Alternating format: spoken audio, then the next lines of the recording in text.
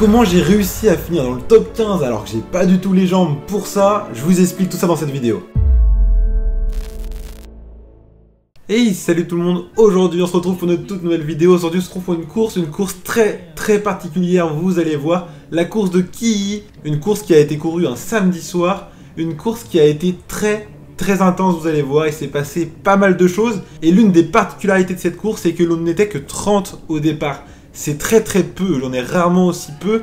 D'habitude, on est plutôt entre 100 voire 150. Là, on était 30 au départ. C'est-à-dire que c'est une course qui va se courir très bizarrement, très différemment de nos habitudes. Et c'est une course où si une échappée part, on le sait pertinemment, personne ne pourra revenir parce qu'il n'y aura personne pour rouler vu qu'on n'est que 30.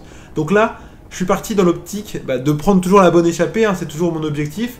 Et surtout dans l'optique de ne pas louper cette bonne échappée. Et comme vous l'avez compris, à tout moment ça part et à tout moment ça reviendra jamais. Donc là, faut vraiment pas la louper, il faut donc rester très très attentif. Là, le coureur qui attaque ici, c'est un coureur qui a fait un top 10 il y a, pas très longtemps. Je crois que c'est le coureur qui fait 2 devant Dorian le jour où mon frère fait 3 Donc là, ça attaque. Il y a que des bons là qui sont attaqués. Donc directement, je fais l'effort accompagner. Là, faut vraiment pas se faire enfermer. Il y aura personne pour me ramener, personne pour pédaler à ma place. On n'est que 30 au départ, je le répète encore une fois. C'est quelque chose qui est très particulier. Je pense que j'avais jamais fait une course avec aussi peu de coureurs au départ. Donc autant vous dire que on l'abordait d'une façon très spéciale. Cette course, c'est une course qui est plutôt plate, comme vous pouvez voir. Il y a juste le petit faux plat de l'arrivée qui fait très très mal, surtout en fin de course. On partait pour deux heures de course. Alors autant vous dire que du coup, ça, va être long, je vous le dis tout de suite, ça va être long, parce que c'est une course qui va être très très intense tout du long. Et surtout, sur ce début de course, vous allez voir. Donc là, pour l'instant, je suis toujours très très bien placé. Et là, on va voir le coureur euh, Timothée Maillard, là, donc le coureur en rouge qui est tout devant, qui va attaquer. Ce coureur-là, c'est un coureur qui est particulièrement bon, je vous le dis tout de suite. Donc quand je vois qu'il attaque, je me dis, bon, est-ce que j'y vais? Alors du coup, c'est ce que je vais faire. Euh, quand je vois que personne n'y va, je me dis, allez, ça coûte rien, je, fais le jump, j'attaque et j'y vais. Il me laisse partir, donc c'est une très très bonne chose. Je me retrouve donc en échappée avec Timothée à l'avant ici. Euh, et, je sais que si je suis avec lui, même si je suis pas capable de prendre le relais, il est tellement fort que limite il pourrait rouler toute la course et potentiellement attendre que 2-3 autres gars viennent nous aider. Donc je vais directement lui prendre le relais pour lui montrer que je suis là et que je veux participer et je veux que ça fonctionne. Et là, on va arriver tout doucement au virage à gauche qui est donc la ligne d'arrivée, la ligne d'arrivée qui, a fait très très mal, hein, mine de rien. Là, on avait euh, vent de côté sur la ligne d'arrivée, donc en fait, ça faisait euh, particulièrement mal. Et au moment où on va passer ce virage ici, je crois qu'il y a deux coureurs qui vont venir sur nous. De toute façon, on va voir ça avec les images extérieures. Mais, euh, mais du coup, à ce moment-là, je me disais, bon, comment on s'y prend? On a quand même un peu d'avance sur le peloton. Euh, mais d'un autre côté, moi, là, je vous le dis tout de suite, à ce moment-là, malheureusement, mon cœur fonctionnait pas. Encore une fois, je vais bientôt changer mon capteur, mais euh, mon capteur ne fonctionnait pas. Euh, j'étais à bloc, j'étais littéralement à bloc. J'étais au rupteur, c'est-à-dire que la moindre accélération faisait que j'allais exploser. Donc c'est pas très bon. On est au premier tour, on vient juste de partir. Deux coureurs reviennent sur nous, comme je vous l'ai dit. Donc là maintenant on est 4 à l'avant et moi ça me semble plutôt intéressant parce qu'il y en a deux qui sont du même club donc c'est-à-dire qu'il y en a un qui peut rouler pour l'autre. Timothée il est très bon, euh, moi je suis là, bon bah tant mieux tu vois. Donc euh, là on, est dans la côte et euh, c'est dur pour moi, c'est très dur mais je serre les dents, je serre très très fort les dents mais je, je m'accroche et je reste au contact du groupe. Donc pour l'instant tout se passe bien sur ce premier tour. Comme je vous l'ai dit, si ça part, il y a de fortes chances qu'on ne les revoie jamais parce qu'on est tellement peu nombreux que personne ne va rouler. Et là, malheureusement, Timothée euh, ralentit tout simplement parce qu'il considère que ce groupe-là va mener à rien. Euh, et, du coup, on va tout doucement se faire reprendre par le peloton. Et du coup, bah, cet effort sur quasiment un demi-tour que j'ai produit, c'est un effort qui n'aura servi à rien. Faut savoir que, après là, ça m'a mis dans un mal particulièrement fort. Euh, en fait, j'ai était trop loin dans l'effort pour un premier tour. On va pas se le cacher. Là, j'ai abusé. J'ai abusé, mais vu qu'on n'était que 30, je savais que c'était particulier, etc. Donc pour l'instant, je vais rester placé à l'avant. Mais je suis déjà au rupteur, je suis déjà à la limite en fait. Je vous invite, si c'est pas encore le cas, à vous abonner à la chaîne YouTube, c'est super important, et à liker la vidéo, ça aide énormément. Je compte sur vous, merci beaucoup.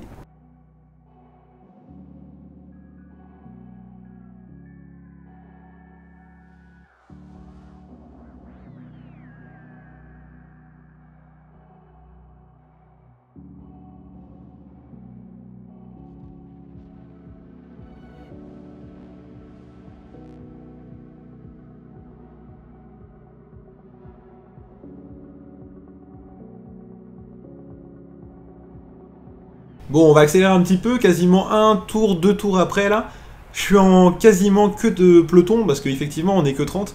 Donc euh, bah, même s'il n'y a pas grand monde devant, je suis quasiment dernier ici. Donc très très mal placé, tout simplement parce que ça fait deux tours que ça roule très très vite et que je suis littéralement à bloc.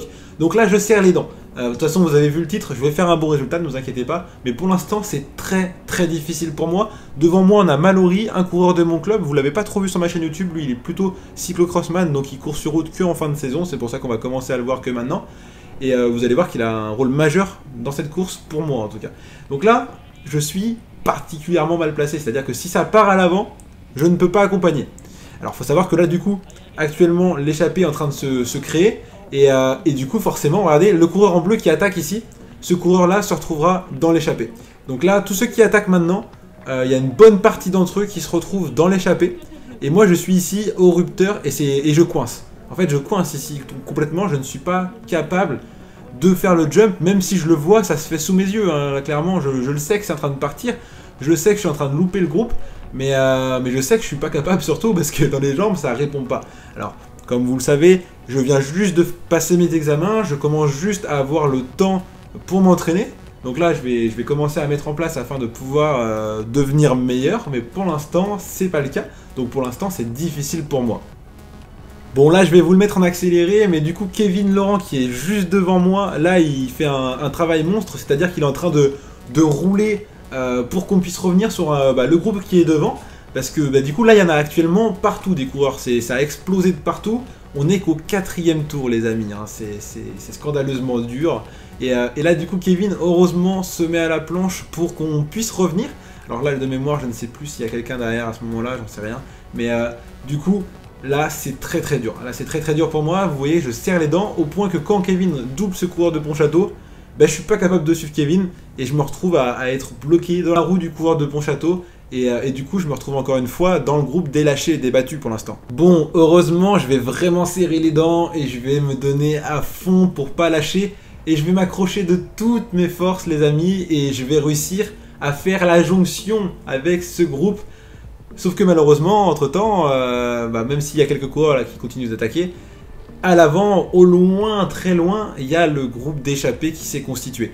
Alors l'attaque du coureur en bleu de tout à l'heure, c'était à ce moment-là que ça s'est constitué. Je l'ai vu, hein, clairement je l'ai vu, j'étais pas capable d'y aller, de toute façon j'ai quasi pas réussi à suivre le peloton, donc autant vous dire que le groupe de tête ça a été très compliqué pour moi. Il y a donc une échappée de 11 coureurs qui vient de se dessiner, sincèrement il y a les 11 meilleurs, à part Kevin, donc le coureur en bleu clair là, et euh, un coureur de chaland euh, que je vous montrerai sûrement tout à l'heure, il y avait tous les meilleurs à l'avant. Euh, donc forcément derrière on était déjà battu en, quelque sorte et, du coup comment je vais m'y prendre moi pour faire un bon résultat derrière c'est compliqué. Mais d'un autre côté j'étais en mode bon là ça fait 4-5 tours que c'est très très dur pour moi. J'étais à un point où j'étais à la limite de pas réussir à suivre le peloton donc limite d'abandonner finalement parce que j'allais exploser là j'étais vraiment en rupteur. Donc le fait que je me dise l'échappée est partie, ça veut dire que le peloton va peut-être ralentir un peu. C'est un petit peu une logique de, perdant, mais c'est une logique de, survie surtout ici, parce que sincèrement, j'étais au bout du bout, au bout de 5 tours. Donc euh, c'était une catastrophe.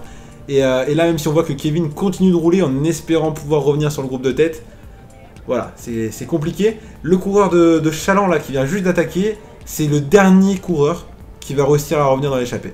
Donc euh, voilà, je vous le dis tout de suite. Pour l'instant, nous ne ferons pas partie de l'échappée.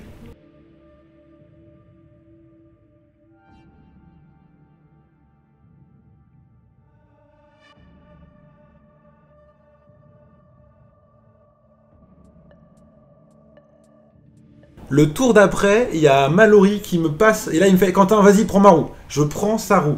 Et euh, là, du coup, on fait une petite tentative euh, bah, pour essayer d'attaquer, pour revenir, euh, du coup, sur le groupe de tête, tout simplement. Parce que pour l'instant, en fait, il y a le groupe de tête et il y a surtout un groupe qui est en train de se dessiner en fait à l'avant là. Un groupe de quelques coureurs, mais un groupe qui du coup bah, représente une bonne partie du peloton parce que comme je vous le rappelle, on n'est que 30. Donc en fait, si tu laisses partir un coureur, t'en laisses partir deux, t'en laisses partir trois, et bah à force, bah, ça fait beaucoup de monde que tu laisses partir. Donc là, Mallory, heureusement, va me, me carrer de ouf, donc il va m'aider à revenir euh, et, du coup, on va pouvoir reprendre contact avec ce groupe qui était en train de se dessiner et on va remettre les compteurs un petit peu à zéro. Bon les amis, là il y a beaucoup de choses à dire. J'ai éteint la GoPro au bout de 25 minutes. Et après, pendant 40 minutes, en fait, je suis resté dans les roues et j'ai pris aucun relais quasiment. J'en ai pris un par-ci, un par-là, mais vraiment très très peu. Parce que j'étais en mode sauf qui peut. Moi j'étais plus en PLS parce que j'étais à peine capable de suivre, donc encore moins capable de prendre les relais. Et surtout, j'avais en tête quand même qu'il y avait que 11 coureurs à l'avant, donc ça veut dire qu'on peut faire une 12ème place, ce qui est pas si mal. Donc là, en fait, j'étais en mode, eh ben, faut que je réussisse à faire un bon résultat. Donc pour l'instant, je ne bougeais pas. Et ce qui s'est passé en fait, donc là vous n'allez pas voir les images parce que malheureusement j'avais éteint la GoPro. Au bout d'une heure, il y a un groupe de contre qui s'est créé. Donc un groupe de 4-5 coureurs qui est parti. Je ne faisais pas partie de ce groupe là. Mallory, le coureur de mon club, s'est mis à rouler. Pendant deux tours, il a roulé. On a gardé ce groupe à distance. Quelques coureurs sont venus prendre des relais avec lui. J'en ai pris vraiment aucun. Hein. J'ai vraiment été, euh, on va dire, malin, mais euh, pas cool. Parce que du coup, j'ai pas aidé. Mais par contre, au bout d'un moment, au bout de deux tours où le groupe de contre était parti, j'ai dit là, il commence à avoir 15, 20 secondes d'avance. C'est très, très dangereux. Et là, on se bat plus pour une 11e place, on se bat pour une 30e place. Ça sert plus à rien. Et là, du coup, j'attaque. Et j'ai mis un tour complet pour revenir sur le groupe de contre, mais je suis revenu sur le groupe de contre. J'ai fait un effort de, plusieurs minutes et j'en suis particulièrement fier, les amis. J'ai réussi à faire la jonction avec le groupe de contre. Une fois dans ce groupe de contre, j'étais carrément en PLS. Après avoir fait un tour à bloc, je vous cache pas que du coup, ça m'a mis giga mal. Et là, alors je sais pas à quel moment de la course c'est, mais on était à, à mi-course, donc je pense à 1h15, 1h20. Et en fait, il y avait des primes. Du coup, une prime, c'est quoi si vous savez pas? C'est en mode prochain tour, le premier qui passe sur la ligne, il gagne 20 euros. Alors forcément, les mecs, ça les motive tous. Sauf que moi, j'étais déjà en PLS pour les suivre juste à, vitesse euh, régulière. Alors une attaque comme celle-ci, moi, ça me faisait particulièrement mal, très très mal. Regardez, je suis pas capable de suivre. Et là, du coup, je viens de revenir, enfin, il y a une demi-heure quoi, revenir sur le groupe de compte. Je joue une 11ème place, je suis super content. Et, euh, malheureusement, bah la prime, je suis pas capable. Parce qu'en fait, mes jambes sont, sont rupteurs, j'ai des débuts de crampes, et je sais que si je fais une grosse attaque, bah je vais avoir des crampes et je vais devoir m'arrêter en fait. Donc du coup, je, je temporise, c'est-à-dire que je ralentis pas, je continue à ma vitesse, et je me doute que de l'autre côté, ils vont ralentir. Donc dans la côte, je monte à ma vitesse, dans la descente, je roule un peu plus vite, et comme vous pouvez voir du coup, grâce à cet effort qui est donc linéaire, je ne, déjà j'aurai pas de crampes, mais surtout j'arrive à revenir sur le groupe. Et ça, c'est une très très bonne chose, les amis, parce que je vous avoue, là, je suis dans le groupe de contre. Je suis particulièrement content hein, pour moi qui, abandonne des courses depuis euh, deux semaines là parce que je suis mauvais. Euh, être dans le groupe de contre, c'est une fierté. Donc, sauter sur une prime, ça serait hyper frustrant. Donc, regardez là, c'est bon, j'ai fait la jonction. Et du coup, pendant 3 ou 4 primes, qui ce sera exactement la même situation, ils vont attaquer super fort pour essayer de gagner cet argent. Et moi, je vais les laisser faire et revenir tranquillement de l'autre côté, euh, parce que euh, je sais que dans le plat, je suis encore efficace. C'est une stratégie comme une autre, mais pour le coup, ça m'a sauvé la vie pour réussir à aller jusqu'à l'arrivée avec mon groupe. On est bientôt à 15 minutes de l'arrivée, les amis. 15 minutes de, cette fin de course. On se bat dorénavant, plus pour une 12e place, mais pour une 11e place. On est revenu sur un coureur. Donc on se bat pour une 11e place dorénavant. Et encore une fois, prime sur la ligne, les amis. Regardez là, les mecs sont super forts. Euh, et, du coup, bah, moi je fais à ma vitesse, encore une fois. Je continue l'effort linéaire pour pas cramper. Là, c'est vraiment la technique du malin, la technique du, mec qui, se connaît et qui sait que si je fais, plus, je vais sauter. Donc, autant être linéaire. En plus, là, j'ai un coureur de chalon. C'était un mec qui était dans l'échappée, du coup, qui est donc un peu à bloc, mais qui est quand même fort. Euh, qui me ramène donc euh, bah, c'était parfait. J'ai même pas fait l'effort tout seul. Il me ramène tranquillement. Et là, il nous reste plus que 3-4 tours à parcourir, les amis. C'est vraiment pas beaucoup. Et là, je me dis, Quentin, on joue une 11ème place. C'est pas possible que je rentre pas dans le top 15. En, en, fait, si je faisais premier du groupe, je faisais 11ème. Si je faisais dernier du groupe, je faisais 18ème. C'était pas possible que je fasse plus que 15. Dans ma tête, c'était en mode. Même si t'es cramé complet, mec, tu fais tout pour rentrer dans le top 15. Et vous avez pu voir que sur les primes, du coup, euh, bah, j'étais loin derrière tous ces mecs là qui, faisaient les primes. Mais dans ma tête, je me disais, vu que ça va être le sprint final, ça va être l'arrivée, mon mental va me sauver. Et même si j'ai pas les jambes, avec le mental, le sprint, ça va le faire. Et vous allez voir que j'avais raison. Bon, 75e kilomètre, nous sommes à moins de 1 km 5 de l'arrivée. On se fait prendre un tour par l'échappée d'ailleurs, regardez ici. Bon, pourquoi pas. Euh, de toute manière, pour nous, c'est l'arrivée aussi. Donc là, l'idée, les amis, c'est de faire entre premier et troisième du sprint, quatrième du sprint, afin de rentrer dans le top 15. Et là, ça se regarde dans notre groupe parce que forcément, entre le fait qu'on vient de se faire doubler par l'échappée et le fait que bah, l'arrivée c'est dans, moins d'un kilomètre, eh bah, personne veut rouler, donc là ça roule tout doucement. De toute façon, le peloton qui est donc le troisième groupe est très très loin derrière. Le premier groupe, bah, il vient de nous mettre un tour, donc il n'y a plus personne autour de nous. On peut rouler à la vitesse qu'on veut, on s'en fout. Faut quand même savoir que sur cette échappée, euh, pour être sincère, j'ai quasiment pris aucun relais. J'ai pris franchement un relais sur 10 pour participer, mais j'étais vraiment incapable de les aider. Donc faire le sprint, réglo par réglo, chacun a son point de vue. Moi, mon but, c'est vraiment de m'amuser. Hein. donc euh, j'étais en mode sauf qui peut tout le long. J'ai pas menti, j'étais pas en mode je ratonne parce que je veux faire une bonne place. Non, j'ai pris le plus de relais que je pouvais. Donc je pense avoir été réglo à partir de là parce que j'ai tout donné. Euh, et, puis je pouvais pas faire plus. De toute façon, déjà, j'ai failli sauter à chaque prime. Euh, j'ai failli abandonner au bout de 4 tours. Enfin, autant vous dire que là, je suis très très fier d'être à ce moment-là du circuit à me battre pour la 11ème place. Donc autant vous dire que je vais faire le sprint. Donc là, ça se prépare. Le mec est devant moi, c'est le mec qui était le plus fort du groupe, à mes yeux, c'était le mec qui allait gagner le sprint. Donc j'étais dans sa roue, au chaud, et je suis particulièrement bien placé du coup. Donc là, pour l'instant, c'est un scénario parfait pour moi. Pour moi, là, vu que j'ai des crampes, D'habitude, je préfère les sprints longs, mais là, je sais que si je fais un sprint long, je vais cramper, c'est pas possible. Donc là, plus le sprint sera court, mieux ça sera. Et regardez, pour l'instant, personne lance le sprint, donc pour moi, c'est absolument parfait. Plus ils attendent, mieux c'est pour moi. Et là, c'est bon. Ça lance le sprint sur la droite, le coureur en rouge, Milou passe, et du coup, je lance mon sprint, je me mets à fond. Paul Coco me repasse parce que lui il est au-dessus du lot. Je passe devant Milou et je passe la ligne. Bam, 12ème les amis. Je finis cette course. 12ème, je suis super content, même si c'est un petit peu anecdotique parce que euh, forcément c'était une course particulière. Je suis quand même super content, j'espère que vous êtes fiers de moi parce que je reviens de loin quand même. Hein. Je vous avoue que ça fait deux semaines que j'arrive pas à finir une course. Donc euh, voilà, quand même, faut, faut le dire. Donc merci à vous d'avoir regardé la vidéo jusqu'au bout.